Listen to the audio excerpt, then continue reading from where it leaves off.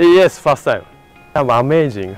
Uh, first experience uh, uh, this amazing uh, atmosphere. Very good, yes. My company is the first oldest startup incubator in Japan. Uh, I am founder CEO. Uh, I already invested uh, about 80, 80 uh, Japanese startups and also uh, we have a uh, new branch in Israel.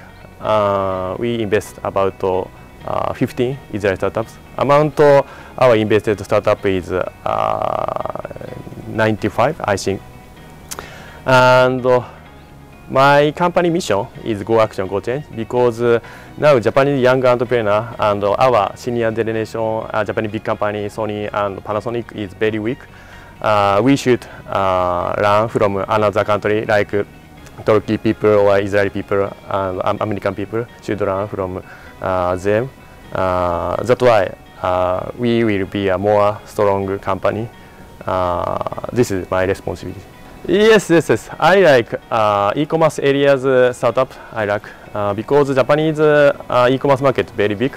And after that, I will connecting with Japanese big company, e-commerce company, and Israeli, and sorry, Turkish, Turkish startups. Yes. Now, um, she, like seed stage, I think, like seed stage, uh, but because uh, uh, Japanese uh, ecosystem is uh, seven years ago nothing, nothing.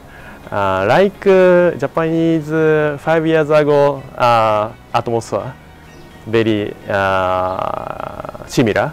That's why after three or four year, years, very increased, I think. Uh, I met yesterday very good uh, Turkish startups.